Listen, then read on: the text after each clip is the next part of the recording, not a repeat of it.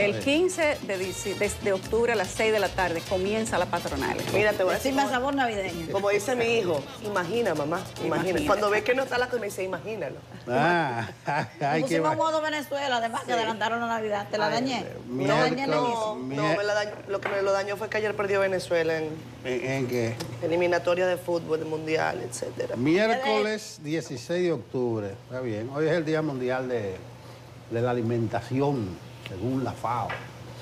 Eso está instituido desde el 81, 1981, y se cogió este día porque fue el día que se eh, fundó la Organización de las Naciones Unidas para la Alimentación y la Agricultura, FAO, en 1945. Está ahí. Bueno, dicen que hay alimentos para alimentar el mundo durante décadas, pero el desequilibrio y el afán de medido en la cadena de elaboración, de distribución, ha hecho que los alimentos se vuelvan inaccesibles para mucha, mucha gente. Muchos mensajes hoy de que tomar conciencia de que comer mucho no es alimentarse bien, ya lo saben. Hay un informe de UNICEF ayer. En República Dominicana el 15% de los niños sufren de sobrepeso, incluyendo obesidad. Bueno, pues si están gordos y colorados, es porque se está comiendo. Como nos estamos nosotros comiendo toda esta cartera de informaciones y de, y de, y de, y de- y de reformas. Ay, señores. Señor ministro, ya eh, yo lo recibo. Un ministro que me dice que yo estoy desinformado. Si yo estoy desinformado, venga usted a informarme, que yo lo, lo recibo con, con mucho, con mucho gusto. Pero parece que es el país entero que está desinformado. Con esta reforma, es que las cosas no caminan así. Ustedes vieron un comunicado de Hacienda, del Ministerio de Hacienda, de ayer, que dice que en cuanto a la transferencia inmobiliaria, la propiedad inmobiliaria, o sea, vender vivienda, que se fue un error Ah, en el IVA. O sea, Un error gramatical. Sí, que lo que dice el IVA no iba. O sea, el IVA con V, que no iba con, con B de burro. ¿Y cómo usted me va a salir ahora? Por eso lo arreglamos ahora en los debates en el Congreso. Una cosa tan seria como, como grabar la, la transferencia inmobiliaria. Usted dice que se fue un error que no era así lo que yo quería decir. Por eso yo le digo al presidente que no es revisar, es eh, echarle para atrás a ese tipo de, de- cuestión, es reconsiderar la propuesta más apropiada. Pero ni modo, vamos a ver en qué parará la cosa. 77 días para finalizar el año, según mis cálculos. Para otra gente son 76, porque Sí, 76. el día de hoy, aunque no ha comenzado todavía, ya ellos lo dan como vivido. Es que ya tenemos varias horas. 21 días para las elecciones de Estados Unidos. Yo estoy muy entretenido con las elecciones de Estados Unidos.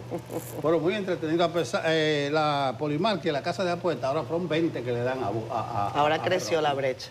La brecha. El hoyo, el hoyo. ¿Y tú sabes por qué? Entre otras cosas. 60-40, dice, dice la, la casa que apuesten a Trump. Oye. ¿y, y sabes por qué? Entre otras cosas, me llamó la atención que hicieron un estudio pormenorizado de lo que ha sido la preferencia electoral del voto afroamericano. Y ha crecido de manera importante en comparación con los anteriores Sí. a favor de Trump. Entonces, hispanos. eso dice, bueno, no, los hispanos también, pero en el caso de- del, Los- los del- del llamado caucus negro, la- o sea, ha ido increciendo. Los republicanos le han ido quitando tajadas eh, elección tras elección Sí, a los y- y- y republicanos. en los jóvenes, porque A los demócratas, Lo primero que dice Trump es el punto uno de su programa, que va a deportar, que eso no tiene madre, que va a terminar el muro. Entonces lo critican por ahí, pero eso es lo que él cree. Dicen los hispanos y los afroamericanos legales que ellos no le tienen miedo a eso, en un 70-80%. O sea, que ellos también dicen, bueno, lo que van a votar son los que no están eh, legales. Pero interesante el, el debate, dice Kamala que ella se hizo un examen médico y está resiliente y potente, y que a que Trump no se lo hace. Lo que le pedían a Biden, que ellos decían que no, que Biden lo que era grasosito, ahora quieren que Trump se haga un análisis. Y ahí dicen, pasó algo ayer en Pensilvania, en un condado, y dice que Trump está medio loco, que se puso por el a- a- baile. a cantar y a bailar. ¿Qué pasó? ¿Qué se pasó media hora bailando? Eh, 39 minutos, pero decía Trump, no se ha ido nadie. A los actos de Trump, que son bajo techo, eh, eh, se queda la mitad de la gente afuera y el calor se desmayaron dos. Y él dice, ese está malo, está malo. Ayúdenlo, que está malo. Pero dice Trump, póngame música. Póngame música. Y se puso con el pasito tuntún que él tiene. Es un showman. un showman, le salió el showman y tarareando. Y, y dice, mire, está loco, él no está bien. Pero él decía, tenemos 39 minutos y no se ha ido nadie de aquí. Y no puedo abrir la puerta porque ustedes saben que no puedo abrir la puerta. O sea, la gente que entra bajo techo es Sí. estrictamente. Pero la cosa, ¿en qué parará la cosa? Pero esperemos 21 días. Yo le- me estoy, estoy muy, muy entretenido, muy, muy entretenido con las elecciones de los United States of America. ¿Lo dije bien, Catherine? Sí, Catherine siempre States. me corrige mi, mi inglés. Y eso, y eso que yo también lo machuco. ¿eh? No, tú le das bien. Ah, mira, mira a Tron ahí con su pasito tuntún. No, póngame a Tron bailando 39 minutos. O sea, Nelson, eso, ojo, ojo. Búsquenme el Tron. No, no, él no duró los Ay, 39 no, bailando, el, el No, bache. el, el claro, El- bache, el pero él de Pero lo que están demostrando es que dice Tron que Camara lleva unos artistas famosos y que después que cantan los artistas se va la gente. Entonces otros tienen que decir, mira, aquí hasta yo cantando. Aquí no hay artista. Y no- y el que baila yo- soy yo. cantando. Y la gente está afuera. Sí, Oye, pero- lo de Kamala, lo de los republicanos y los demócratas, ahora que tú mencionas las elecciones, Nelson, está eh, a un nivel tan dramático que ayer la candidata Kamala Harris, justamente por la cantidad de porcentajes que se ha ido perdiendo en la comunidad afroamericana y latina, ayer prometió, entre todas las cosas que le prometió a la comunidad afroamericana, legalizarle la marihuana. Eso ha caído como una bomba en la sociedad estadounidense, Mira, mira, mira. contrario a lo que se pensaba antes de que ella hablara. Y hoy todos los periódicos tienen eso en la portada. Mira, la comunidad científica está muy preocupada con el asunto de la marihuana. Hay que que la medicinal, la cannabis, se están creando problemas. Así como adulteran el ron aquí, adulteran la marihuana y está trayendo una serie de secuelas los expertos. Ustedes no vieron a Tron ahí, me gusta el pasito tuntún ahí. ¿Te gusta? Se lo había prohibido la Lo esposa. aguantó Ajá. porque Sí. Biden, en el debate famoso aquel que sacó a Biden de la competencia, le dijo, él mide como dos metros. Le digo que estaba muy gordo. Eso fue parte del debate de, de entre todos.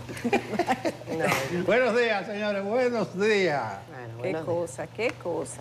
buenos días para todos. Buenos días, Yulisa, Yanesi. Aquí estamos en, en- en coloquio y vieron ustedes hasta medio en Navidad. Ya sacaron los charamicos a las principales avenidas de la capital. Ya hay personas pensando qué van a hacer con el doble sueldo. Pero con esta reforma fiscal uno está un poco nublado.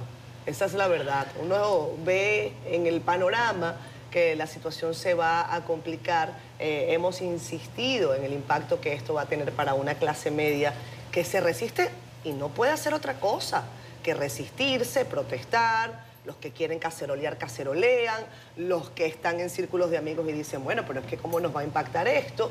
Eh, sobre todo porque, y hoy eh, Federico Jovine, que no está acá con nosotros en el equipo porque tiene una, un compromiso muy importante, eh, escribe en el Listín Diario una columna que yo les invito a leer y se llama Comunicación Gubernamental en tiempos de reforma. Hace aquí algunos días hablábamos de los mensajes que se dan desde la acera gubernamental y la legitimidad que este tipo de medidas tienen. Porque sí, hay consenso en que esto hay que hacerlo, el asunto es el cómo el cómo y los mensajes que usted desde eh, la tribuna para la que la ciudadanía le paga, pues entonces decide andar, caminar, hacer. Por cierto, eh, bueno, Nelson, después vamos a hablar de las canastas de Navidad y de aquellos, eso sigue de aquellos derroches. Eh, a, la, a la gente que vende canastas, bueno, yo, yo no quiero afectarle su negocio, pero este año deberían ser más modestas. Esa es la verdad, porque hay algunas, ¿cómo es que le dices tú en eso? La canasta de la vergüenza. Ah, no, no, no, esas son las, las cajas que Las cajas, las canastas, sí, esas, esas cosas que... Canastas. Las Hubo un tiempo que se llamaban. canastas, cestas. ¿Eh? Las cestas, las cajas de... O sea, yo no estoy de acuerdo Son los que regalos, los regalos navideños. Que con los recursos públicos tú me estés mandando a mi canasta, pero es que Claro. el que quiera mandarme mi, mi canasta que me la mande. No, está claro, pero que hay unas que tú dices, Sí, bueno, caray, pero pero si no, estamos en claro, austeridad, está como fuerte. Muy exquisito, Qué del, bueno. sí. Bueno, hoy es Día Mundial de la Ética, Día Mundial de la Dignidad, Día Mundial, como decía Nelson, de la Alimentación, Día Mundial del Pan. Así que bueno, Ay, qué qué ricura. Eh, el pan no va a tener ITEVIS. Al pan no lo tocan. Pero la harina sí. Pero la harina sí. Y el transporte también. Y entonces. Nada, seguimos. Buen día. Tómense su cafecito caliente. Buenos días, Yanesi.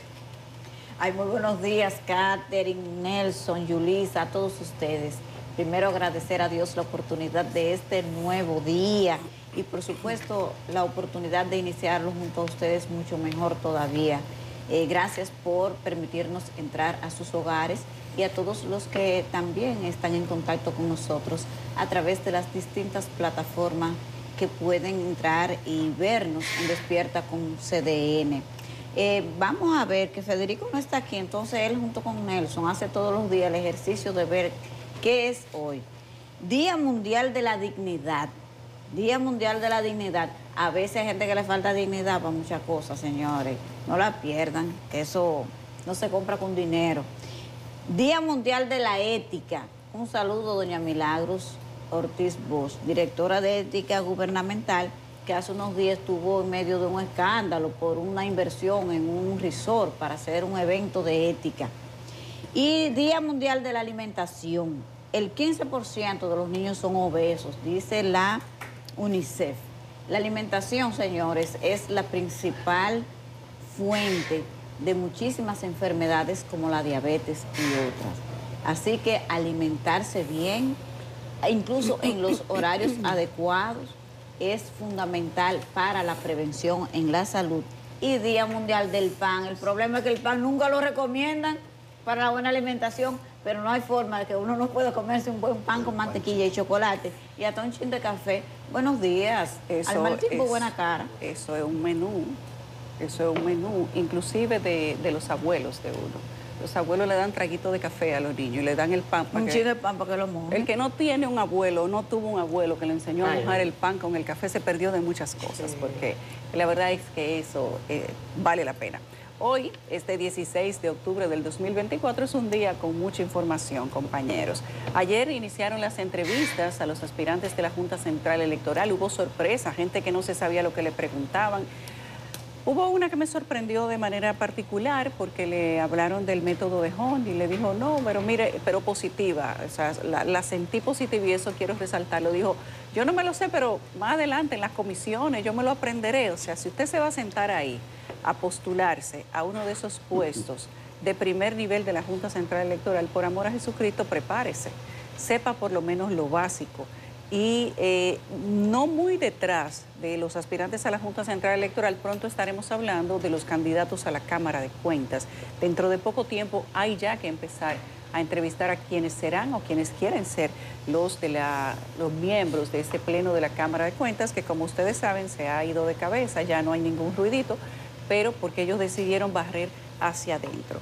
A los que siguen de los aspirantes a la Junta Central Electoral, den una leidita antes de sentarse a ser entrevistados, a ver si nos queda la, por lo menos la percepción de que vamos a elegir dentro de los mejores, dentro de los más inteligentes. Hoy se reúne la Comisión de Diputados que está estudiando la reforma fiscal, se reúne con Adocine, con la gente de, que serán impactada, el representante del sector que va a ser impactada con prácticamente la eliminación de este eh, incentivo de la ley de cine. La información que se tiene, de acuerdo a lo que se ha presentado en el proyecto y de acuerdo a lo que se ha eh, ratificado o dicho desde el sector económico, es que esta eliminación probablemente se va a mantener porque han habido muchas distorsiones y el gobierno tiene la intención de recogerlo.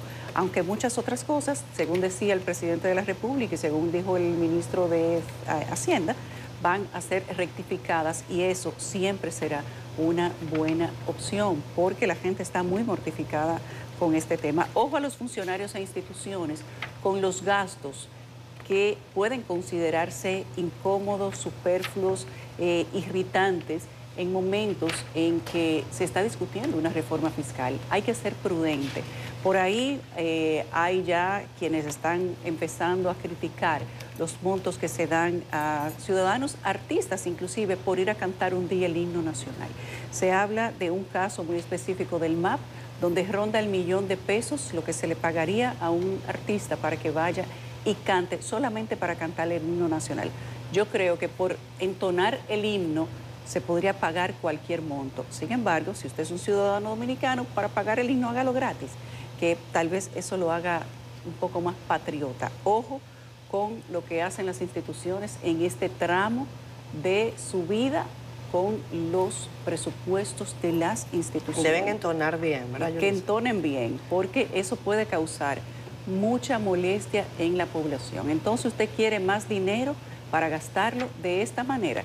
Eso es lo que puede entender la gente. Haití está hablando de un bloqueo por el mercado de Dajabón porque hay que hablar de etiquetados. Oigan esto, Haití hablando de etiquetados de productos y de situaciones comerciales con República Dominicana en momentos en que su canciller denuncia a República Dominicana por el tema de las deportaciones. Dice que eso es inhumano y que eso genera situaciones de violencia.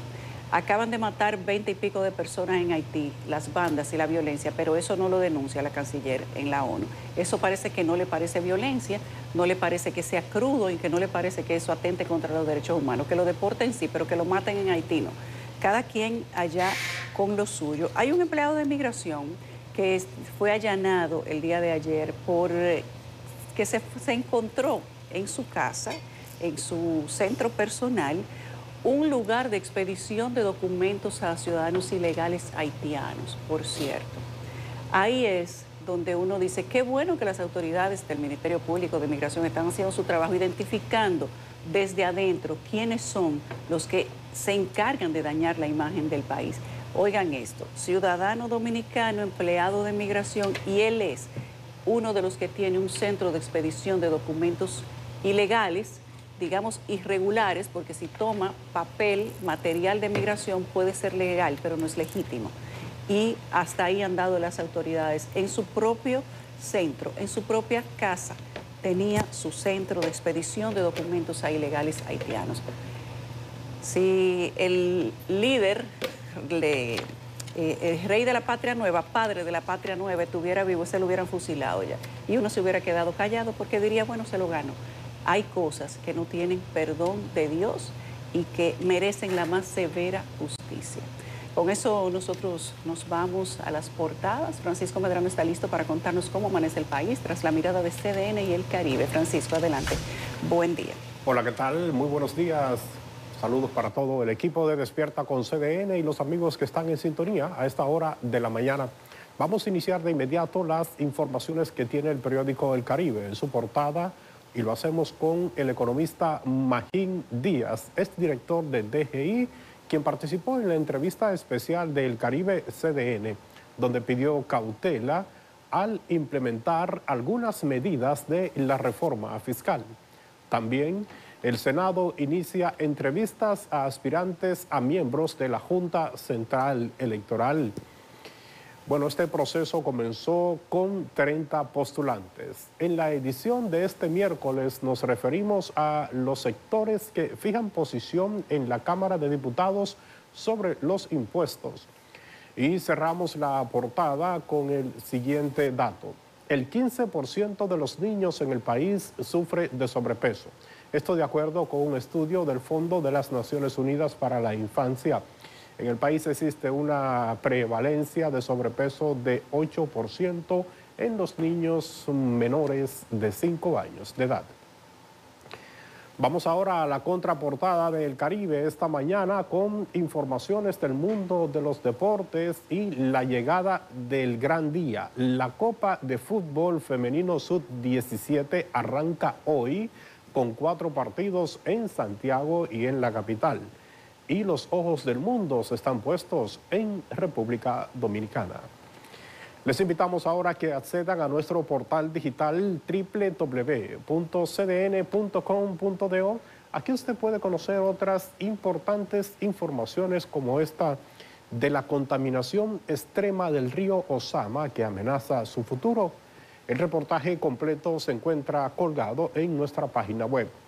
También Hablamos de familiares de mujeres atropelladas en Ciudad Juan Bosch, quienes denuncian que se trató de una acción premeditada.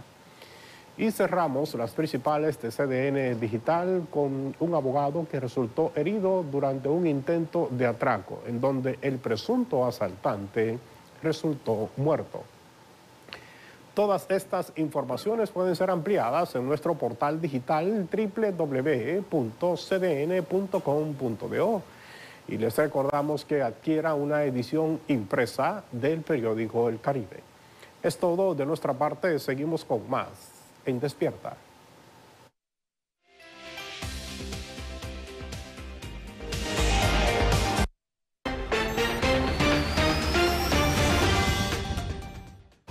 Al clima, me mandan el reporte, yo pensaba que era un informe político, porque dice que el presidente va hoy para el sur, va para Pedernales.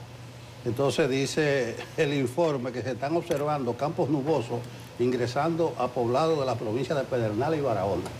La gente dice, ah, por eso la reforma, porque si va a afectar el turismo en esa zona, no es verdad que va a despegar Pedernales. El presidente va hoy precisamente a inaugurar, a abrir la segunda etapa del puerto de Cabo Rojo.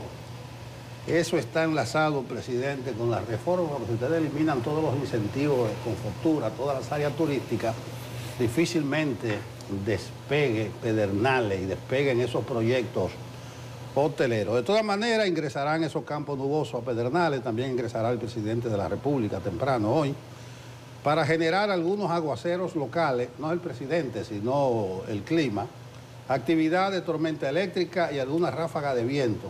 En la actualidad se mantienen, pero desaparecerán durante las horas matutinas.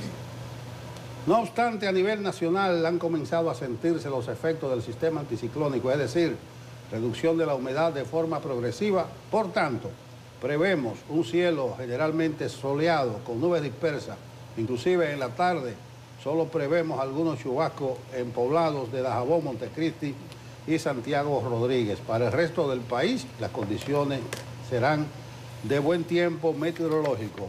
Mañana, eh, jueves, ¿verdad? Exactamente.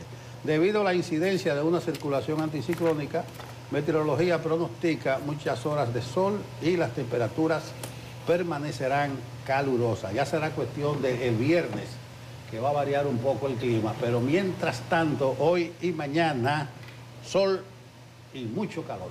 Hasta aquí el informe del tiempo. Regresamos con más. Despierta con CDN 7:30 minutos de la mañana. Vamos a hacer esto rápido porque hay mucha información. Delio Samuel Marmolejos, hola Delio. Yulisa dice Mel Argüello, te ves guapísima con ese modelo. Ah, que, que dice que te ves guapísima con ese modelo de Victoria's Secret.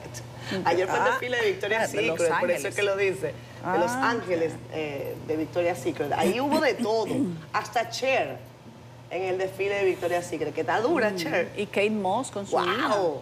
¡Wow! Ahora, ahora, ahora Kelvin seguro me busca esa imagen porque a él le gustan esos temas. Un abrazo, eh, querida Mel.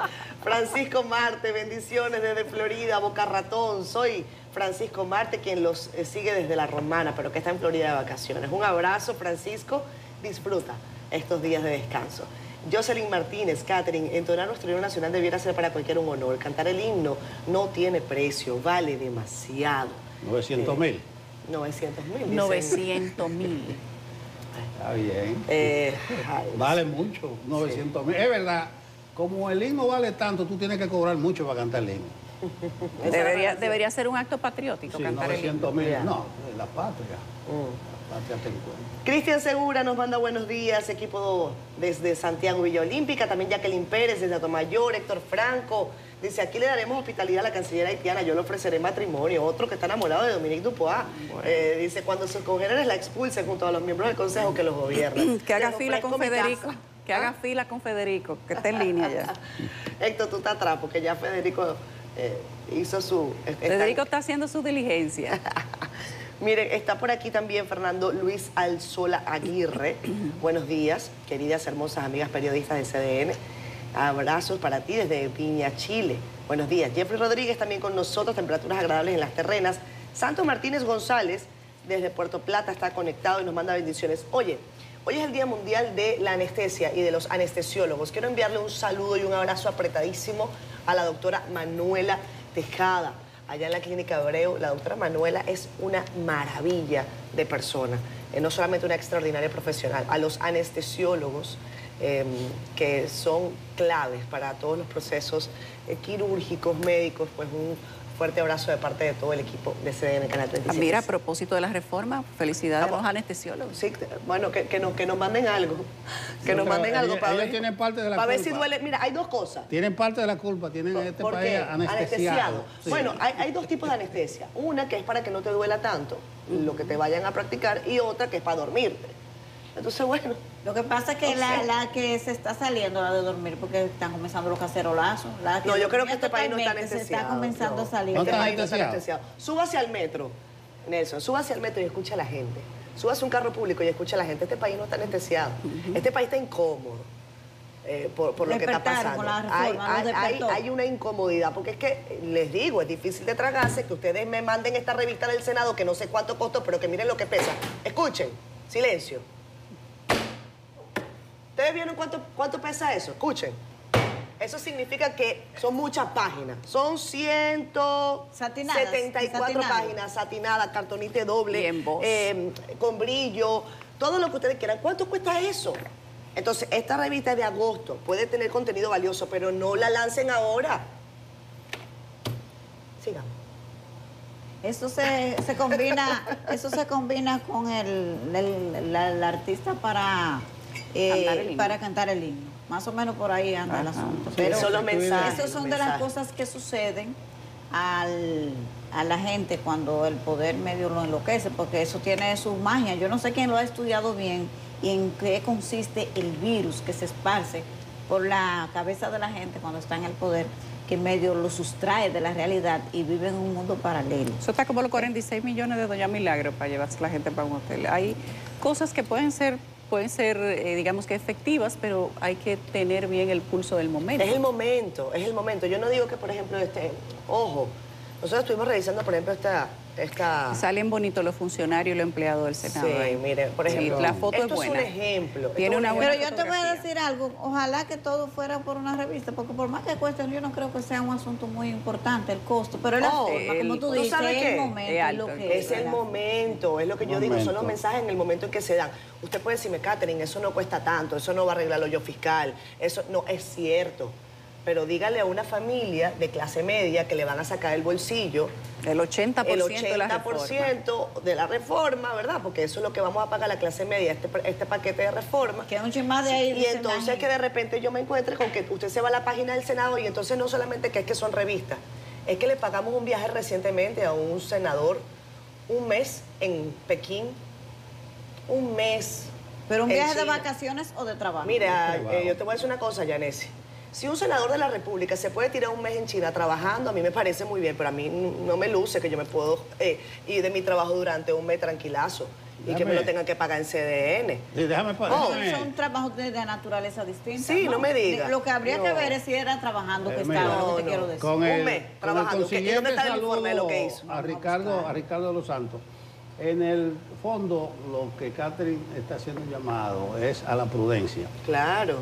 Eh, usted hablando 80%, eh, o sea, se pensaba, dijo un economista, que era un 73% de lo que se va a captar de la reforma que va a salir de los bolsillos de la clase media, pero ahora no, ahora se han reajustado las cifras y es el 80% que va a salir de los bolsillos de la, de la clase media. ¿Y qué, lo- ¿Y qué locura es esta? El 80%. El 80%. El 80%. Porque es más fácil cobrar no a los sé, que yo- ya parece están que la clase media identificados. evasora aquí.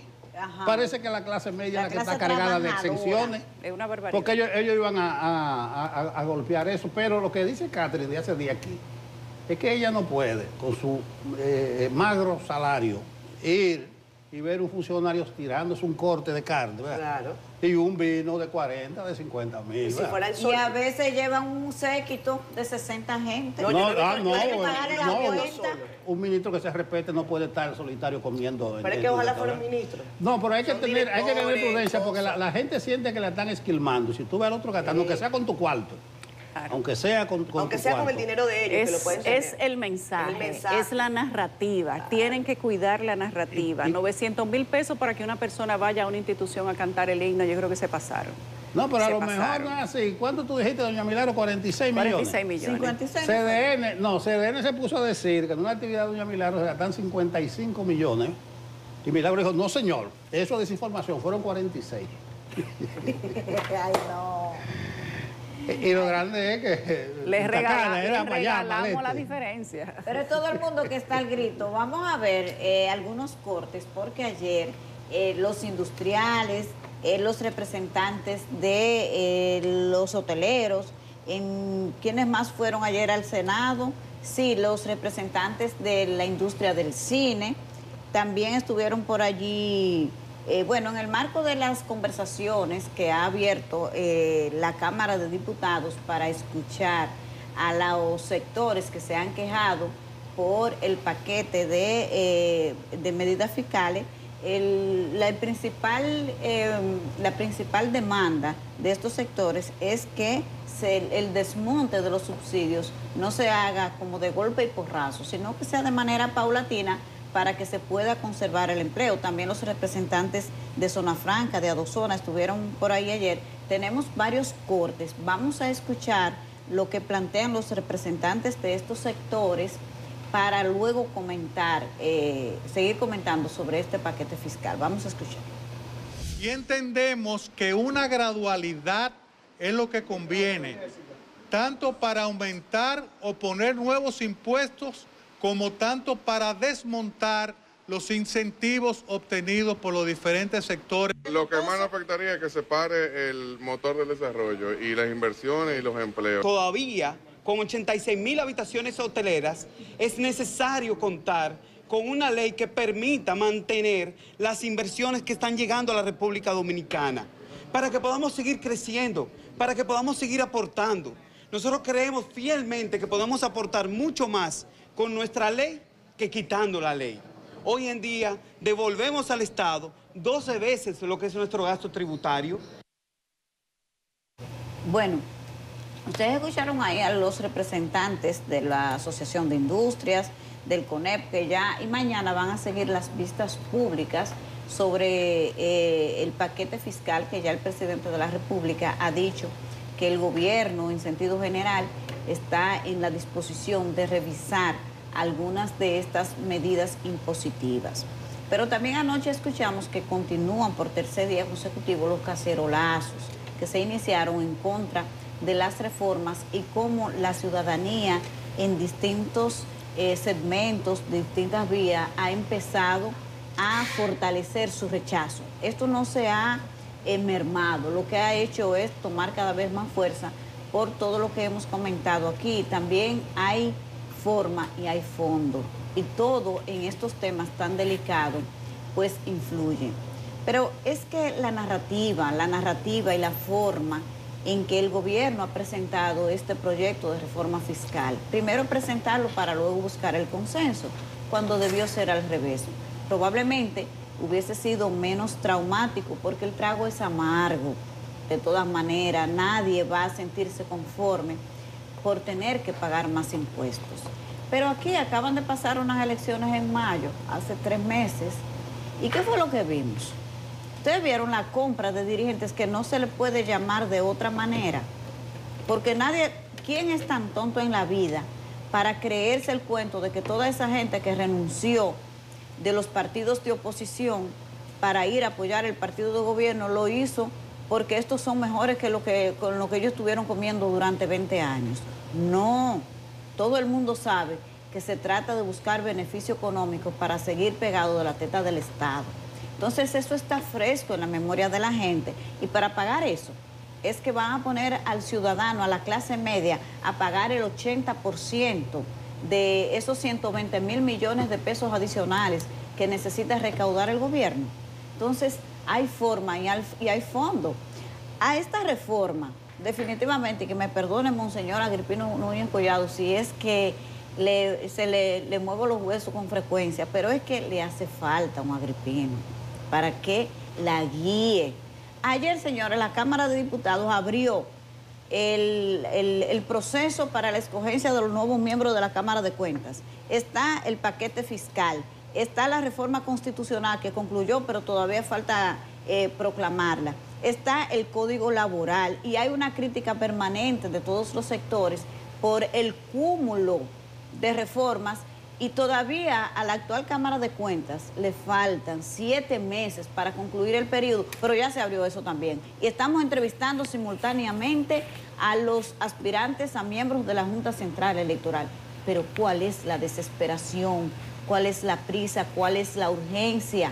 ¿Cómo ustedes explican todo esto? Y la gente le dice, pero aquí se está oyendo, no escuchando. Y para pasar temas tan delicados como una reforma fiscal que afecta la calidad de vida del ciudadano porque va a pagar más y por más que nos digan no es verdad que van a estar mejor, su, su poder adquisitivo se va a ver fuertemente mermado. Hay que tener lo que se llama prudencia y tacto. Yo insisto, ustedes oyeron a algunos empresarios hablando de la gradualidad, o sea, que no sea todo de un golpe, que no se pase del 0 al 18, del 10 al 27 en lo que respecta a los ahorros, a, las inversiones. Yo creo que el gobierno debe, debe reconsiderar eso y hacer una, una revisión, porque la reacción en contra no pudo ser más unánime. Una reacción unánime de, todo, de todos los sectores. Y se ven cosas como la que yo decía, que dice en un comunicado el Ministerio de Hacienda, eh, que va a proponer una nueva redacción del proyecto del tratamiento a los inmuebles y los intangibles, intangibles para hacerlo de manera más explícita, porque dice el Ministerio de Hacienda que no se ha entendido bien, que no se ha entendido bien y que ellos le van a dar una, nueva redacción en cosas en cosas tan serias.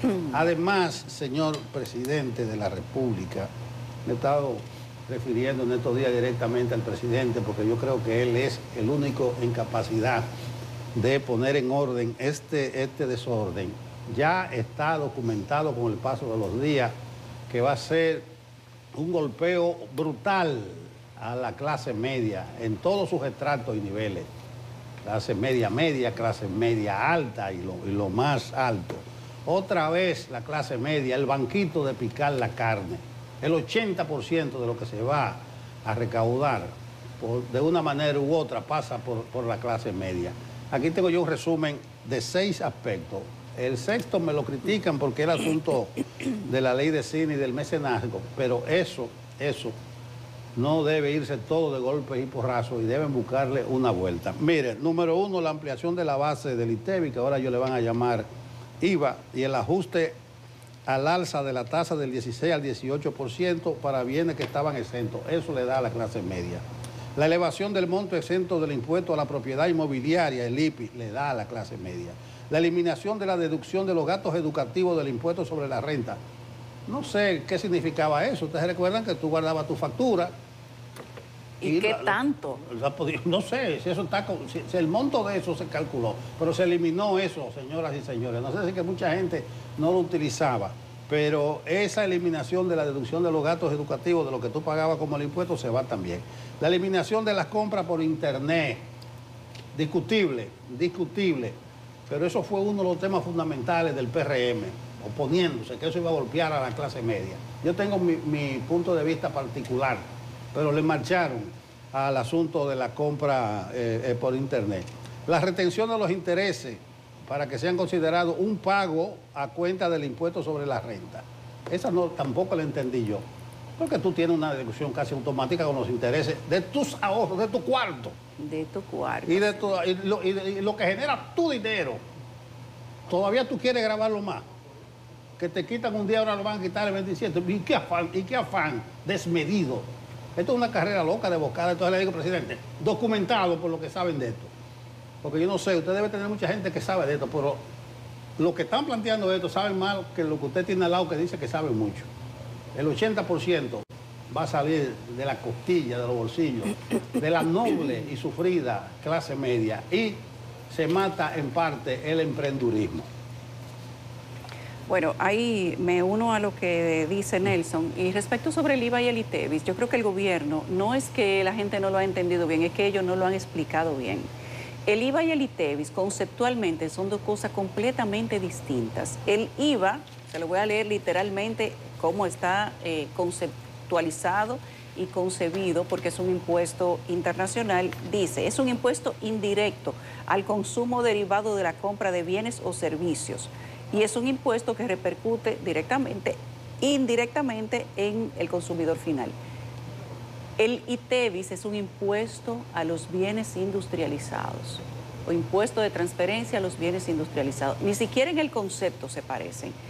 Y aunque podría pensarse que es algo eminentemente eh, literario o que simplemente es semántico, no lo es.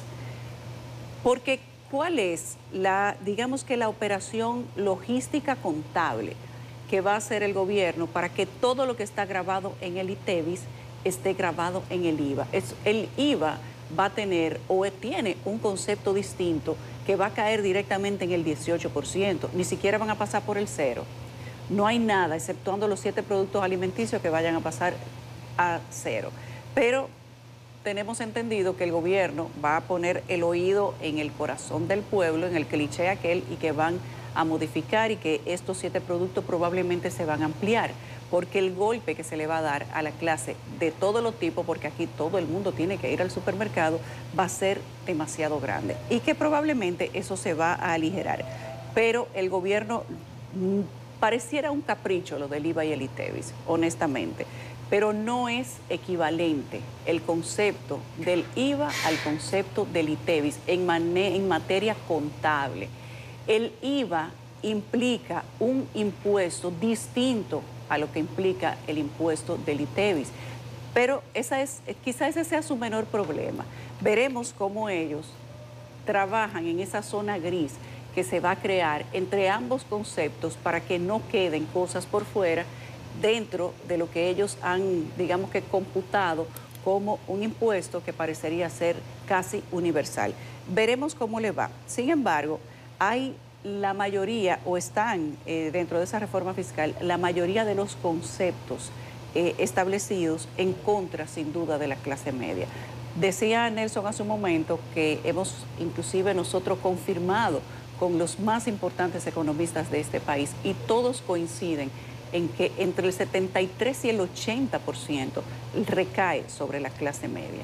Y que además de eso, todo lo demás a lo que se le van a eliminar una cantidad de incentivos se va a traducir igualmente en un alza para otro tipo de consumidores, en tiendas industriales, en tiendas de turismo, todo lo que usted se puede imaginar. La buena eh, noticia de todo esto es que el gobierno va a flexibilizar la reforma fiscal.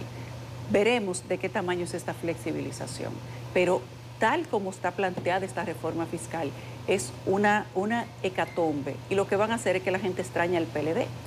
No entiendo cuál es el interés del PRM en causarle a la gente nostalgia por un gobierno anterior. Usted puede decir lo que usted quiera, altamente corruptos, eh, tenían nepotismo, la familia en el gobierno, sí, pero en materia de impuestos estaban mejor en materia de impuestos se golpeó menos a la clase media y todo lo que criticó el PRM cuando era oposición ahora lo incluye en la reforma. La realidad es que no es lo mismo ser oposición y ser gobierno.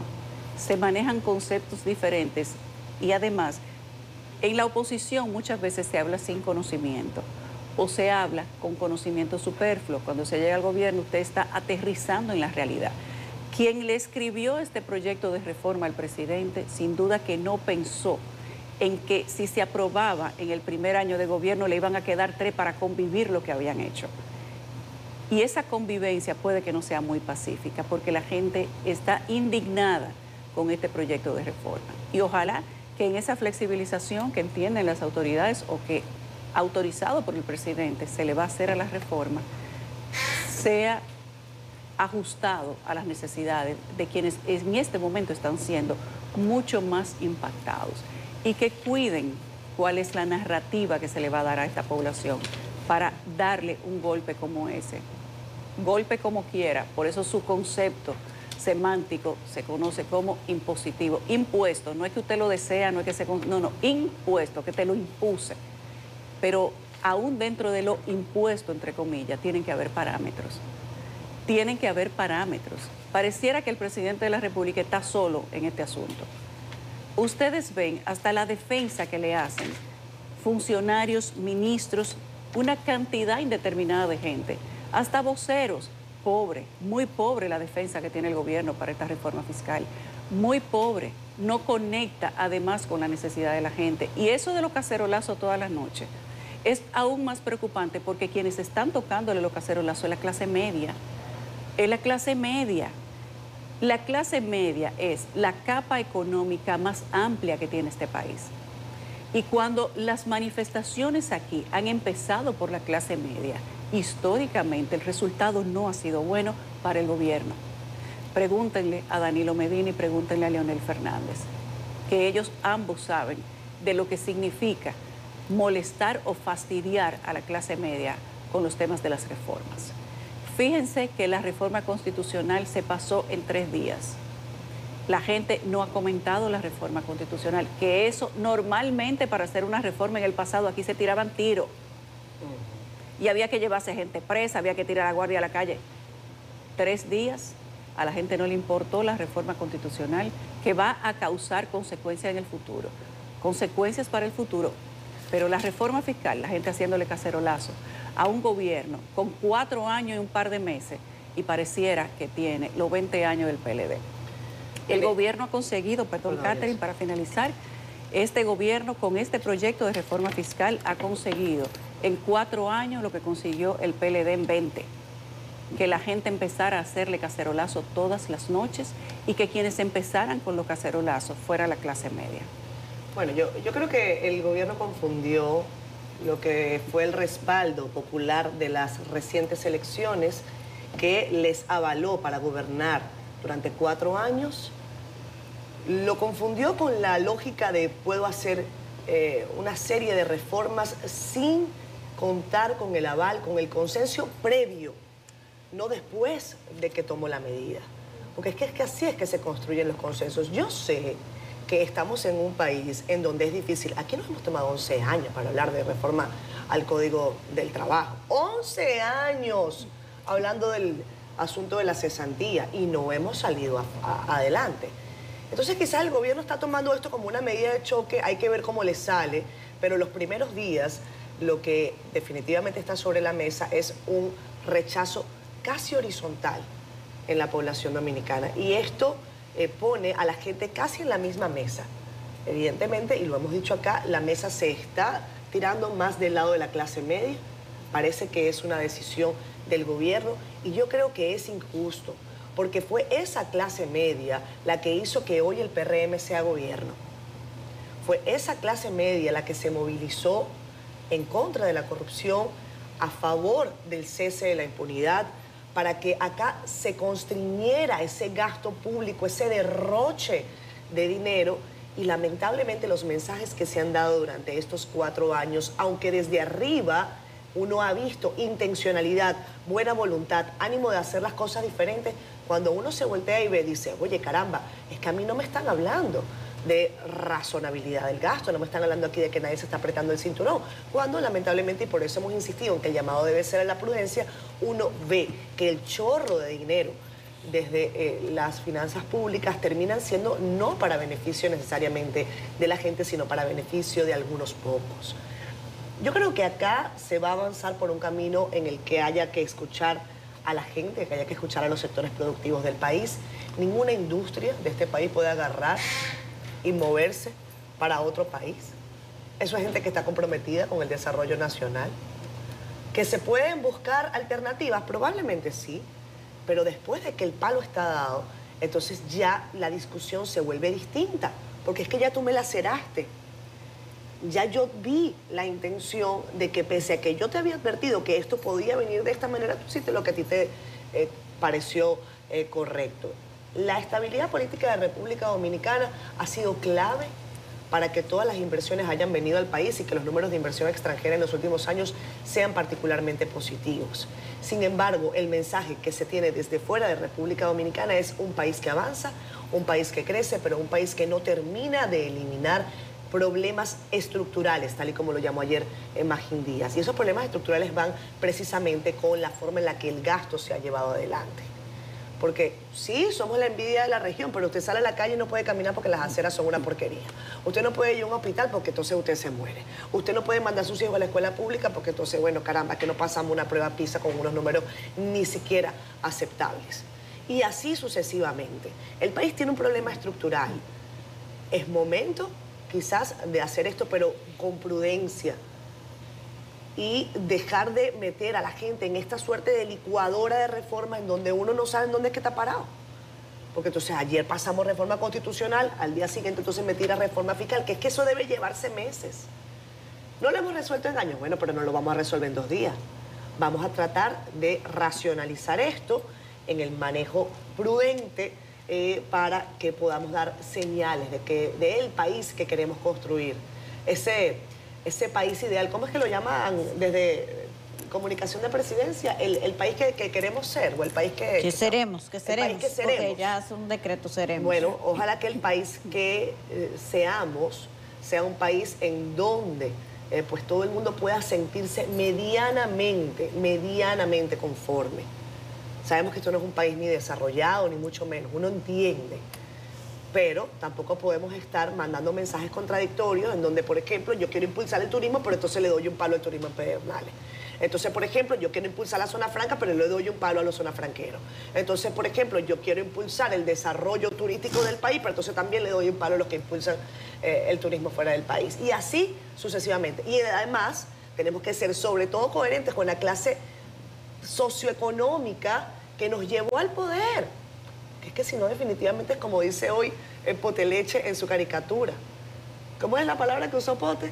¿Eh? No, que el tipo está preocupado, tipo está deprimido preocupado. por la situación del país. Dice 27%, 27% también país. impuesto por eso. No 27%. puede por reprimirse. estar, por estar Quejando. ¿Cómo está? Deprimido. quejándose. Y, entonces, y haciendo toma, cacerolazo. Están, están- Bien, la pausa. eh, de- después de la pausa, eh, Magín Díaz, presten atención a la parte, dice Magín, de cómo se hicieron otras reformas, principalmente la de 92, que Balaguer eh, eh, eh, dinamizó discusiones tuyas, hasta gente de fuera vino para hacer esa reforma y otras más. A la pausa. Regresamos con más de Despierta con CDN. Gracias, como siempre, por estar con nosotros. Como todos los miércoles tenemos una entrevista especial. El tema no podía ser otro. La reforma fiscal preocupa a la ciudadanía en República Dominicana y por eso nosotros le damos la más cordial bienvenida a Magín Díaz, exdirector de Impuestos Internos, economista, académico. Gracias por estar con nosotros, Magín. Aquí estamos. Buenos días. listos para responder.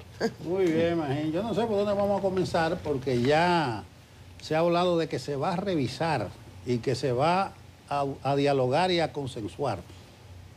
¿Por dónde comenzamos? Con el proyecto de modernización fiscal. Yo creo que hay que comenzar por el principio. No, pero ya estamos revisando. No, la, eh, la primera pregunta es si se necesita una reforma o no. Yo creo que estamos de acuerdo todo el mundo, Magín. No necesariamente. Eh, o sea, esto se veía venir. Para mí la reforma más anticipada de la historia eh, debió haberse hecho hace tiempo. Eh, y hay algo que una parte de la sociedad no, no quiere entender, a mi juicio. Y es que la clase política decidió que el gasto público eh, eh, va a subir y que va a seguir subiendo. Entonces, un economista sensato ante esa realidad, porque el gasto público viene definido por los políticos, entonces hay que subir las recaudaciones. Entonces, aquí hay un problema estructural. El gobierno ha tratado de bajar el déficit, pero no, no lo ha bajado nada. El déficit es el mismo, el gasto va subiendo y los ingresos en realidad no están subiendo, no están aumentando por lo menos al mismo ritmo. Entonces, de ahí la necesidad de la reforma. Ahora, eh, en ese sentido, como economista, claramente yo apoyo la reforma, ya que el Estado que se está dando el país es más grande eh, o está ya de un tamaño que lo que se recauda no lo puede financiar. Entonces no podemos seguir con la deuda pública. Entonces aquí hay problemas estructurales serios, como el pago de intereses, que ya llegó, alcanzó prácticamente al gasto en educación. Este año casi se va a pagar 4% del PIB de intereses y eso va a seguir subiendo, eh, porque el déficit del gobierno central es más o menos de 20 mil millones de pesos mensuales. O sea, estamos hablando ya de cifras grandes. Entonces, hay que hacer el ajuste en algún momento. Ahora, eso no significa que en dos meses o en seis meses va a haber una crisis. Yo no veo una crisis en el corto plazo. Eh, entonces, el reto del gobierno es hacer el ajuste antes eh, de que venga esa crisis. Y grandes reformas del país se han hecho eh, empujadas por las crisis, como la de 1992 o la del 2004. Entonces, como sociedad tenemos que evitar llegar a eso. Esa es mi posición de por qué se necesita una reforma.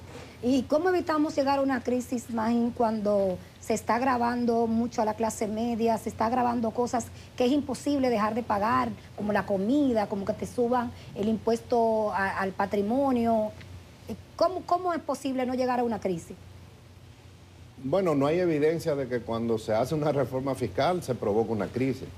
Eh, al contrario, muchas han ayudado a salir de crisis porque el beneficio de estabilizar las finanzas públicas y de la estabilidad macroeconómica compensa el costo inicial de la reforma.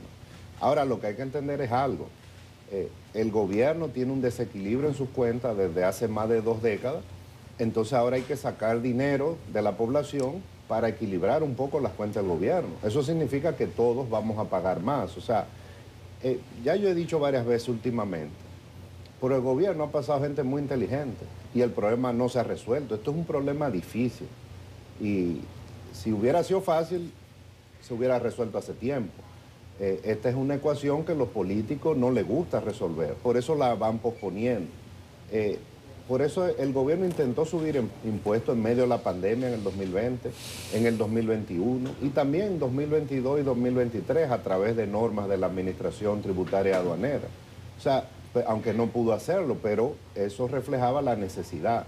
Entonces todos tenemos que estar preparados para pagar más.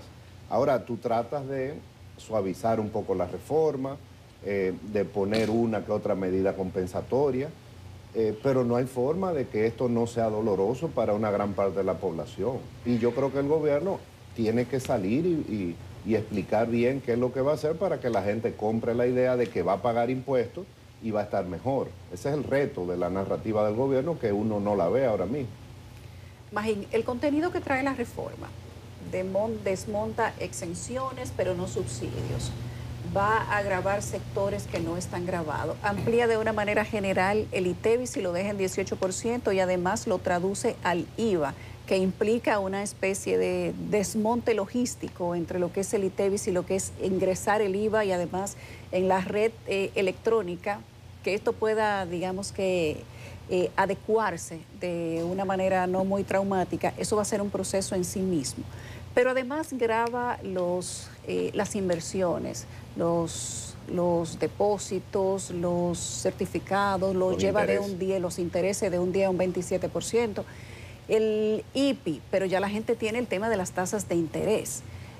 El sector turístico dice que está impactado, el sector industrial dice que está impactado, el sector de zona franca dice que está dramáticamente impactado. ¿De qué manera se puede eh, analizar este proyecto de reforma eh, sin pensar que tal vez se le ha ido la mano al gobierno? Bueno, varias cosas. Primero, en monto no se le fue la mano. Eh, la propuesta del año 2021 era casi el doble que esta en tamaño. Este no es el tamaño de reforma que necesita el desequilibrio que hay en las cuentas fiscales. Entonces es bueno que la población esté claro en algo, que el gobierno no lo va a decir. Este tamaño de reforma de 110 mil, 120 mil millones no resuelve el problema fiscal. En un par de años vamos a estar hablando de lo mismo. O sea, lo que te manda un cálculo viendo las cuentas fiscales y el monto de los intereses y de la deuda, es una reforma del doble. Y eso lo dijo Isidoro Santana el otro día. Entonces, ahora el gobierno eso fue lo que propuso en el 2021, pero fue una reacción muy mala, la retiró, pero eh, aquella reforma era de 200 mil millones. En ese sentido, esta es más moderada.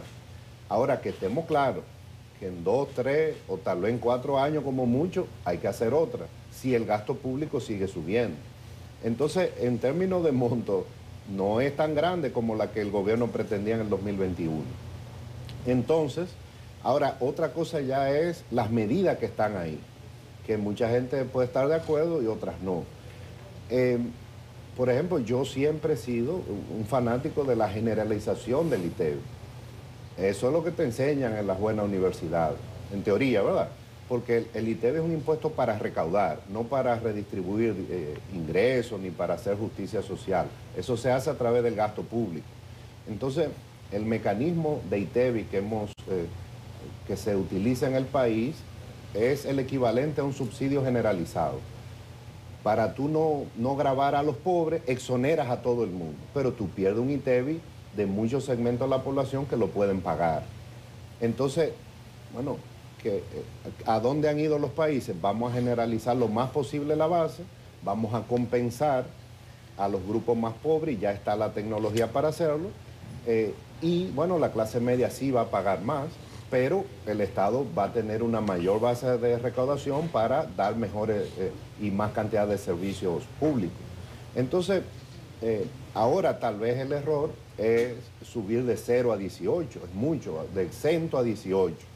Una alternativa es eh, irnos con dos tasas, por ejemplo 8 y 18. Ahora, ¿por qué yo digo el 18? Porque yo trabajé mucho en, los, en, gobierno. A, ningún presidente le gusta soltar recaudación. Entonces ya el que paga 18 tú lo tienes agarrado. Eh, porque hay mucha gente diciendo que eso hay que bajarlo. Bueno, tal vez se podría bajar uno o dos puntos, pero el gobierno tiene una meta recaudatoria. Ahora, si se logra generalizar lo más posible la base del ITEBI, es decir, eh, llevar el ITEBI a lo, que es correcto teóricamente, en la ganancia de eficiencia de la economía eh, por mejora en la administración, facilidad de recaudar, va a ser grande. Ahora la gente eso no lo entiende. Tú tienes que salir y explicar eso a la gente porque es una medida difícil de aceptar. La gente no entiende que si tú exoneras, eh, si tú eh, eh, exoneras un bien de ITEVI, no pagan los ricos que sí pueden pagarlo. Entonces, esa es, la filosofía del ITEVI, que sea un ITEVI generalizado. Y yo ahí estoy de acuerdo, y ahí fue que yo dije que la medida es valiente. Ahora tiene otras medidas que no tienen como mucho pie ni cabeza. ¿Cuáles, por ejemplo? por ejemplo, el IPI. El IPI aquí hay un problema pero serio. Este es el país que menos recauda impuestos a la propiedad inmobiliaria. Pero la distorsión es tan grande que si tú lo corriges de un año a otro, el impacto va a ser brutal sobre la población. Entonces, ahí yo haría un plan a 10 años, por ejemplo, eh, para ir llevando la recaudación más o menos al promedio de América Latina, un plan a largo plazo. Eso no se puede corregir de un año a otro. Eh, yo creo que los primeros días pasó desapercibido, pero ya la gente se dio cuenta. Aquí se graban los intereses al 10%. Eso viene desde el año 2012. los intereses, eso mucha gente lo ve como un impuesto al ahorro. Los intereses son eh, ingresos que reciben las personas que, eh, que en todos los países forman parte de la base imponible. Ahora, muchos países, como el nuestro, decidió grabarlo a una tasa baja y definitiva ahora se estaría llevando eh, a 25 o 27%, porque se sumaría a los salarios que tú recibes, por ejemplo, a la base imponible. Eso es un salto muy brusco. Ahora, se usa mucho ese tema en los países desarrollados, pero la contraparte en los países desarrollados es que te graban los intereses a la misma tasa de los salarios, por ejemplo, pero tú tienes numerosas deducciones si tú eres casado, si tienes hijos, si tienes préstamo, te lo puedes deducir para fines de impuestos. Entonces, me parece que en el caso de aquí es un error. Entonces, hay cosas de la reforma que hay que revisar. Otro gran error es que se trata a todos los incentivos por igual. Vamos a eliminarlo todo de golpe. Pero hay incentivos bien diseñados, como Proindustria, por ejemplo ese es un incentivo que se diseñó de acuerdo a las mejores prácticas. Se da depreciación acelerada, crédito por inversión, el gobierno no perdona el impuesto sobre la renta, esas empresas siguen pagando impuestos sobre la renta. Entonces ese se quiere eliminar. Eh, entonces yo creo que eh, no hay necesidad de hacer una eliminación total de todas las leyes. ¿Va a haber turismo en Pedernales o, en ese tipo de zonas si no hay algún tipo de incentivo fiscal? Probablemente no. Entonces yo, ahora hay abusos de algunas leyes de incentivo, yo puedo hablar de eso obviamente porque estuve en DGI. Lo que hay es que ver esas, las partes de esas leyes que se pueden controlar, eh, moderar los incentivos en algunos casos que ya tienen muchos años, pero no necesariamente quitarlos de golpe. Entonces, la reforma es necesaria, el monto no es lo que necesita el gobierno, pero es lo que el, presidente ha considerado viable. Eso no resuelve el problema fiscal, pero en el detalle de, la reforma habría que arreglar muchas cosas. muchos economistas plantean que el gobierno se fue por la vía fácil al momento de simplemente aumentar los impuestos y que ha dejado de lado el tema de la eficiencia en su recaudación y sobre todo el tema de combatir la evasión, que bien sabes de eso. Eh, en ese sentido, ¿por qué el gobierno estaría dispuesto a pagar el costo político de una medida impopular y en teoría no, no le es rentable hacer algo que en el tiempo pueda permitirles recaudar lo que se proyectaba? Mira, yo quisiera de- decir la respuesta que tú quieres oír, pero eh, tengo que ser sincero. No hay medidas de administración tributaria o de lucha contra la evasión que resuelvan la- el problema fiscal con la magnitud del que tenemos. O sea, es un deber del gobierno combatir la evasión, eh, luchar contra el fraude, eh, pero eso no te va a cerrar no la brecha fiscal. Ahora hay que hacerlo, la sociedad lo está exigiendo eh, y es lo menos que el gobierno debe hacer, pero tiene que hacerlo creíble, porque el gobierno ahora dijo, como parte de cuando puso a circular la reforma, y esto va a ser una lucha contra la evasión, la vamos a hacer. ¿Por qué no le hiciste estos cuatro años? Esa es la primera pregunta. Entonces, ¿qué pasó? Bueno, eso no es popular, hacer una lucha contra la evasión el fraude. A mí me tocó hacerla, pero no se le dio continuidad.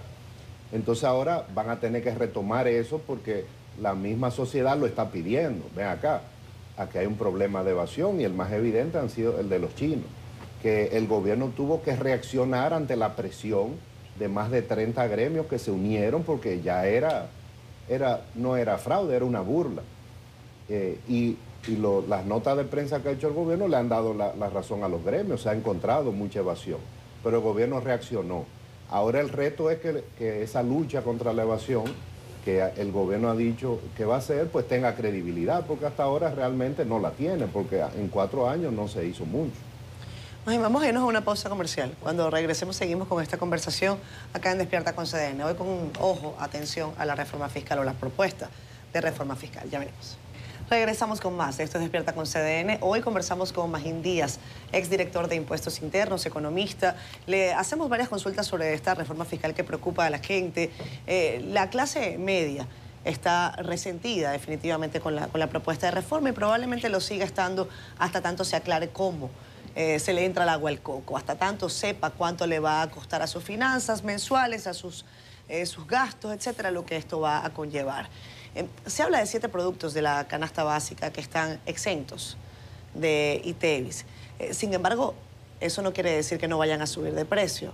Acláreme usted si esto debe ser considerado de esta manera para la gente y si hay alguna forma en que la clase media pueda de alguna manera organizarse o sentir que no está tan afectada o tan cargada con este tipo de reforma fiscal. Mira, lo bueno de estar fuera del gobierno es que uno puede decir las cosas. Porque en el gobierno, bueno, hay que decir medias cosas. La realidad es que no hay forma de hacer una reforma tributaria de un monto relevante para el problema que tenemos sin tocar a la clase media. Porque la clase media es gigantesca ya en el país. Hace 30 años no era así, pero después que un país crece 5 o 6% durante una generación, como lo hemos hecho nosotros, entonces es un país de clase media básicamente. Hay muchos rangos dentro de la clase media, eh, pero no hay forma de hacer una reforma focalizada, por ejemplo, en lo más rico. Vamos a cobrarle a los 100, 100 familias o 100 grupos empresariales más grandes y de ahí sale el dinero. Eso no hay forma. Los países que recaudan mucho tienen que cobrarle a casi toda la población y obviamente a los más pobres tú lo compensas eh, o deja exento una pequeña parte de la población. Entonces, el gobierno tiene que convencer a la clase media de que va a pagar más, pero entonces que el gobierno va a hacer infraestructura, va a hacer- aumentar la inversión pública, va a hacer drenaje, va a resolver el problema del tránsito, va a mejorar el sector eléctrico, porque hay 20, 18 mil millones de esta reforma para inversión en el sector eléctrico, en las empresas distribuidoras. Eh, entonces va a haber, no va a haber inflación, las reformas tributarias no, no provocan inflación, la inflación es un tema monetario. Si tú tienes un banco central en control de la cantidad de dinero, no va a haber una inflación desbocada, pero sí va a haber un salto en el nivel de precios. ¿Y eso va a Eh, incluir los alimentos que están exentos? Sí, también lo pueden incluir eh, porque le van a aumentar los costos a esos productores por, por el ITEVI que van a tener que pagar en sus insumos, por O ejemplo. sea que igual va a subir la leche, igual va a subir el Podría huevo. subir, depende cómo se diseña la reforma. Hay forma de evitar eso, pero no está en el proyecto. Eh, ahora, eh, la- sí va a haber un, hay muchas medidas que van a implicar aumento de precios. Los impuestos selectivos están aumentando, las bebidas azucaradas, cuando tú compras un refresco, por ejemplo, va a costar más, eh, el alcohol va a costar más, eh, y o sea, va a haber un salto en el nivel de precio. Ahora, ¿cómo tú compensas? Y el gobierno ahí hizo lo que dice, digamos, el manual de finanzas públicas, vamos a acompañar esto de un aumento salarial. Eh, y el gobierno va a propiciar un aumento del salario mínimo y esos aumentos del salario mínimo hace un efecto en cascada de que haya que aumentar los salarios en, en el resto de los trabajadores, no solo los que reciben salario mínimo. Eh, ahora no hay, no hay posibilidad de hacer una reforma que no tenga ese impacto inicial. Lo que tú apuestas es que la combinación de políticas económicas, los subsidios que se compensen, el aumento de salarios, las mayores recaudaciones, al final dejen un mejor país. Pero en el corto plazo hay un impacto en, en precio y la gente lo va a sentir. Imagín, lo que saben de esto son ustedes los economistas y pueden discurrir con facilidad. Desde el punto de vista de un comunicador, por lo que uno está viendo de las reacciones masivas de todos los sectores, parece que no hubo estudio eh, previo, parece que, que no hubo consulta, eh, parece que no es para corregir los entuertos de la economía, por dos razones. Entre los siete capitulitos donde van a ir los 120 mil, 112, el último es el del Banco Central, que le van a, a inyectar algo. Pero yo digo, ¿y la informalidad? Eh, esto se encamina a reducir el peso que tiene en el PIB. Entonces yo no veo que se tratan de corregir distorsiones de la economía. Bueno, lo que pasa es que ¿cuál informalidad? Hay varias. Bueno, hay una informalidad, una parte de la informalidad es una economía de subsistencia. A esa tú, esa es rígida, esa, es, esa te la produce el modelo económico, eh, la- el, el bajo nivel de la educación, por ejemplo. Esa informalidad es de largo plazo. Ahora, hay una informalidad que es, por ejemplo, eh, el que hace fraude tributario. A eso sí se puede atacar con política eh, de Estado, ¿verdad? Vamos a atacar la evasión. Entonces hay distintos tipos de informalidad. Una parte está vinculado al, tema de la educación en el país. Eh, entonces hay problemas estructurales que en estos cuatro años no ha habido grandes avances. La informalidad es uno, el sector eléctrico es otro. Entonces, para vender esta reforma el gobierno tiene que tener un buen plan en el sector eléctrico, porque si no, vamos a seguir en esto con un déficit eterno en el sector eléctrico. Bueno, hay un mejor plan en educación. Vamos a ver, entonces, ¿qué medidas tú puedes hacer para formalizar? Por ejemplo, mucha gente se quedó esperando el, monotributo para ayudar a las, a las, a las empresas pequeñas, a las MIPIMES, eh, para que hagan un solo pago por impuesto y seguridad social. De hecho, eso es lo que yo esperaba para, para las pequeñas empresas. Eh, entonces, bueno, hay muchas cosas. Ahora la, la prioridad que tiene el gobierno es eh, que quiere gastar más. Eso hay que tenerlo claro. Porque fíjate que toda la recaudación se va a ir en el aumento de gastos que ya el gobierno anunció. Entonces, eh, el menor de los males es tratar de buscar más ingresos por la vía de las recaudaciones, porque si no sería endeudarse más. Y algún día ya no nos vamos a poder endeudar más. Y ahí entonces habría una crisis fiscal y de deuda. Pero, ¿de, de qué forma, Magín, puede el gobierno comunicar? Tú que has insistido mucho en eso, en nuestra conversación, de que nos dio la reforma, pero no la ha sabido comunicar. Pero a mí me gustaría saber de qué forma podría el gobierno comunicar que eso va a mejorar, lo que tú acabas de mencionar, la educación, la salud, que yo voy a poder eh, de- dejar de pagar un seguro complementario porque voy a ir a, a un, a un hospital de, de segundo nivel que tenga calidad. Eh, ¿cómo, cómo lo, cómo, lo, ¿Cómo lo? Bueno, eh, ti- tiene que mostrar hechos también.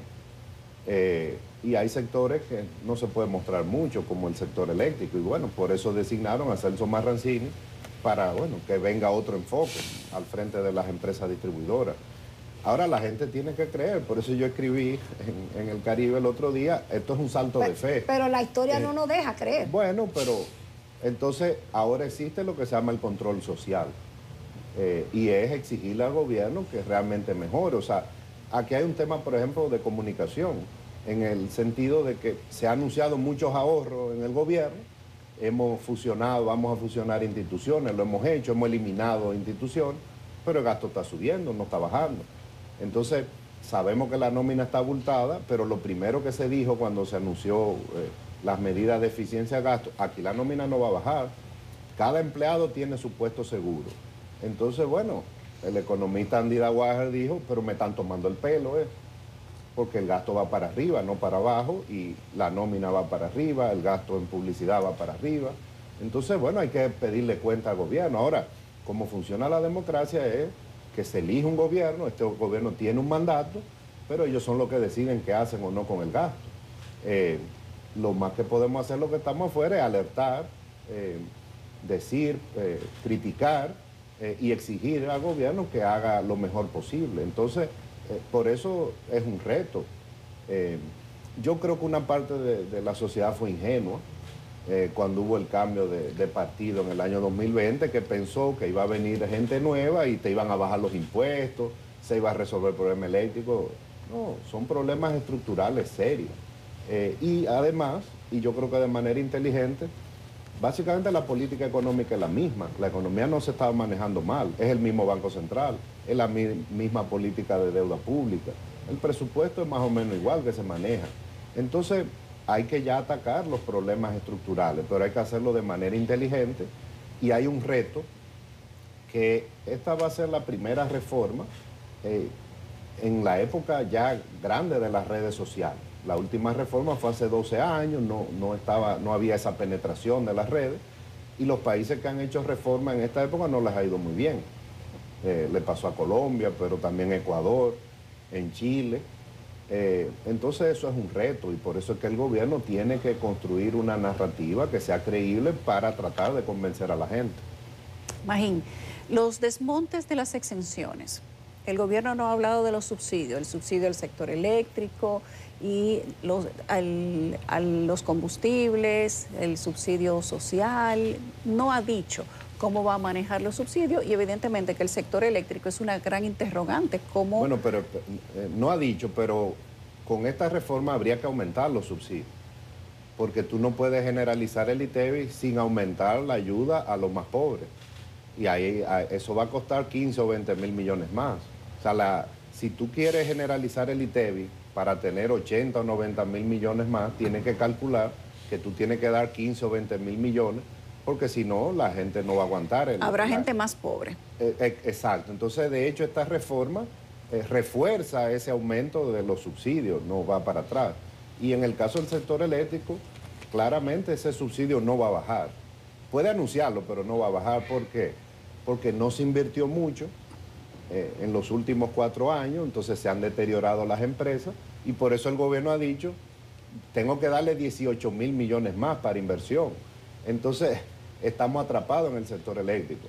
Si hay una mejora en la gestión, digamos, y se ahorran 300 millones de dólares en el lado corriente, pero por otro lado hay que darle 300 más que pasó con el déficit. Se quedó igual. Quedó igual. Entonces, en los próximos años el déficit es rígido completamente del sector eléctrico. Ese es un reto, pero a pesar de que no ha dicho nada de eso de los subsidios, eh, independientemente de que la sociedad sepa lo que va a pasar, hay sectores que se van a ver eh, dramáticamente afectados y es lo que ellos mismos dicen, zona franca, turismo, industria. ¿De qué manera se le va a traducir a la gente la eliminación de esas exenciones o a esos sectores? Y si esos tres sectores o cuatro con cine van a poder impulsarse de alguna manera sin tener esas exenciones. O sea, en sentido llano, ¿qué va a pasar después de que se lo quiten? Bueno, primero yo no creo que se van a quitar completamente. Ahora hay sectores que si se quita completamente no van a, no son rentables para nada. El cine es el, principal ejemplo. El turismo no va a colapsar, como ellos han dicho, pero uno se pregunta, ¿vendrán inversiones a, a, Pedernales, a la zona menos desarrollada? Probablemente no. Eh, y lo que queremos es desarrollar esas zonas que están rezagadas el crecimiento no ha llegado mucho a esa zona del sur, por ejemplo. Entonces, yo creo que hay que llegar a un acuerdo, eh, ver las partes que ya se agotaron de esas leyes, pero no desmontarlo completamente. Eh, y yo no creo que la idea eh, del gobierno es hacer colapsar la economía. tal vez fue una estrategia de negociación para entonces llegar a un punto intermedio. como yo dije, algunas empresas han abusado de esas leyes, eso hay que controlarlo. Eh, y moderar algunas leyes, pero no tumbarlo completamente. Ahora hay sectores eh, como el cine que se, se va, ¿no? que funcionan en base a eso, porque en el mundo así es que funciona. Los países incentivan para atraer eh, inversión extranjera de esos grandes estudios, por ejemplo.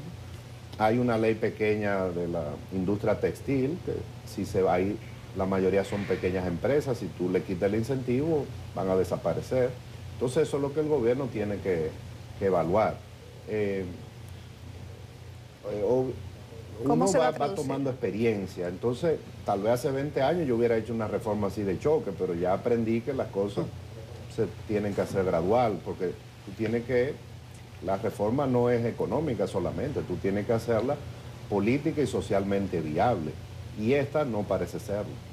Imagín, la ley 1-12, Estrategia Nacional de Desarrollo, ordenaba un pacto fiscal y fue, se puso en los preámbulos de la reforma del 2012 y en los amagos de intento de, de reforma del 20, del 21 que señalaste. ¿Podemos considerar que esta propuesta de modernización fiscal del gobierno de Luis Abinader es ese pacto fiscal? ¿O cuáles son los criterios que tiene que tener un, pacto para poder, digamos, en cuanto a impacto, trascendencia, amplitud, para poder decir sí, cumplimos con esa ley? Mira, lo primero que hay que irse a la estrategia. Para mí lo secundario era que decía un pacto. Lo que sí decía esa estrategia es que el gasto público aquí tenía que converger al de los países en desarrollo, eh, desarrollados. Entonces, lo, para este año, por ejemplo, el gasto público, de acuerdo a la estrategia, tenía que ser más de 20% del PIB. Eso es lo que dice ahí la estrategia y los indicadores. ¿Y cuánto es? Ya es más, eh, este año va a ser 20. O sea, en el gasto hemos ido cumpliendo la estrategia. Ahí sí somos eficientes. Pero la contraparte que decía la estrategia es, ah, para eso tú tienes que llevar tus ingresos a más de 20%. Pero entonces no lo hicimos. Eh, realmente el único pacto fiscal que hemos hecho aquí fue el que se hizo cuando Balaguer, que fue la reforma más estudiada. Eh, ahí se trajeron los mejores tributaristas del mundo, que fue los que escribieron el código tributario, los profesores de Harvard, eh, Robert Conrad, Glenn Jenkins, y se hizo un trabajo de más de dos años. Ahora, ¿qué llevó a eso? La crisis. No queremos eso. Entonces, pacto ahora no es, porque un pacto se supone que tú te sientas durante meses con diversos sectores, como se consensó la estrategia de desarrollo. Entonces, el gobierno no se ha sentado con nadie y no se quiere sentar porque la mandó al Congreso, vayan al Congreso. Entonces, eh, el espíritu de la estrategia de desarrollo es, vamos a hacer algo bien estudiado, eh, bien documentado, con impacto, estudios de impacto, pero eso, la realidad es que no se ha hecho. Y esto no, esto es la reforma del gobierno. Se nos acabó el tiempo. Eh, la entrevista, rápido? Sí, Wow. pero la entrevista continúa. Eh, la vamos a tener en el periódico El Caribe en su versión impresa y también, por supuesto, en su versión digital, periódico en el que usted también eh, tiene una columna. Eh, y muchísimas gracias por estar acá con nosotros. A mí se me quedó una, es si usted está de acuerdo con, con Andy Daguarre sobre el pago de 3.5% de ingresos brutos eh, que, que él, que él considera, que con eso se recupera. Dímelo, ¿sí o no? No. Ok, lo, me lo, lo ampliamos en el periódico. Gracias, Magín. Magín ¿Cómo Díaz, no? exdirector de Impuestos Internos. Gracias por estar con nosotros. Regresamos a pausa. Vamos a cruzar fronteras. Jennifer Meléndez, nuestra abogada de migración, nos trae un par de temas de actualidad. Buenos días, Jennifer. Hola, muy buenos días, señor Nelson. ¿Cómo está? Y a todos los que están allá en el estudio y obviamente a los televidentes. Hoy tengo buenas noticias. Creo que la semana pasada no fueron tan buenas porque no estamos en el programa de loterías, pero hoy vamos a hablar sobre la visa de habilidades extraordinarias y creo que esto es una visa que incluso a ustedes le, va, eh, le interesa bastante porque esto es para personas que se consideran tener habilidades ya sea en las artes, la ciencia, deporte o negocio. Por ejemplo, una- un empresario, una persona dueña de negocio, periodistas pueden pues calificar para este tipo de visado. Y la buena noticia es que recientemente USCIS emitió un comunicado donde se, ah, vamos a decir, flexibilizaron algunos de estos requisitos. Realmente este visado tiene bastantes requisitos, serían unos siete puntos que la persona debe de cumplir de esos siete, unos tres. Yo usualmente le digo al cliente, vámonos con cuatro, porque si coge a uno, pues ya se va a caer todo el proceso. En resumen, esta eh, visa exige que la persona tenga reconocimientos, premiaciones, un salario elevado, que tenga membresías por su, vamos a decir, capacidad extraordinaria. Y entonces eh, USCIS ha dicho, mira, las premiaciones la podemos considerar incluso ahora en equipo, es decir, si eh, una persona participó en un evento, en una actividad que se hizo en un grupo, ahora estas premiaciones iban a ser consideradas independientemente de que fue al grupo per se. Si la persona formó parte de este grupo, este reconocimiento también lo puede considerar. Lo otro que es de buena noticia es que eh, si, por ejemplo, una persona pertenecía, era miembro de una organización y fue invitada, condecorada y ya no es miembro, aún así esa membresía eh, pues va a ser considerada independientemente de que ya la persona no sea miembro, lo cual es muy buena noticia. También el tema, por ejemplo, de las exhibiciones. Anteriormente tenía que, eh, para una exhibición ser considerada para este visado, tenía que ser una exhibición de arte, solamente de arte, pero ahora entonces no necesariamente de arte. Ahora, por ejemplo, una exhibición que una persona vaya a firmar eh, los libros que tuvo una publicación podría ser considerado. Y por último, también el lenguaje de publicaciones en favor de una persona, es decir, si por ejemplo una persona fue entrevistada, tuvo una, un, un reportaje este reportaje no necesariamente ahora requiere que sea sobre el trabajo que se está diciendo que la persona tiene habilidades extraordinarias, lo cual es fantástico. Es decir, si una persona fue entrevistada por, por, su biografía, vamos a decir, su, eh, su ejemplo de emprendimiento, cómo progresó, esa publicación también entonces ahora eh, sería considerada. Bueno, yo sé que el tiempo apremia y si tienen pues siempre alguna pregunta, recuerden que mis redes sociales, Migración Sin Fronteras 305, no sé si en el estudio tienen allá una preguntita sobre el tema. Jennifer, habilidades pero extraordinarias, pero viene significando una ventana, una, una puerta más. Gracias Jennifer. Bye bye.